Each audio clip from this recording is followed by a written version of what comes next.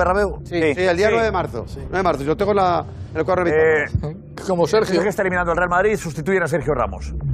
Minuto 85. Pues tranquilo. El Madrid que yo- está fuera. Tranquilo, que yo no soy de las de la conferencia que aplauden al que me gana. No. A mí el que me gana mejoró. Ramos se retira, aplaude el Bernabéu y tú no le aplaudes. No, yo lo que desearé, si ocurre eso, que creo que no va a ocurrir, es que llegue a la final si quiere y que la gane. Y tú aplaudirías a Ramos por su gol de ganar ¿Por qué no aplaudirás a Ramos? Pero Ramos, que yo quiero que quede eliminado contra el Madrid. No, yo creo que Ramos espera que el Bernabéu le aplauda. No, pero no. eh, pero, ¿qué- Ah, no. ¿Quién conoce el Bernabéu? El Bernabéu saque ganador. El Bernabéu va con, con Yo quiero recordar, que a lo mejor me equivoco.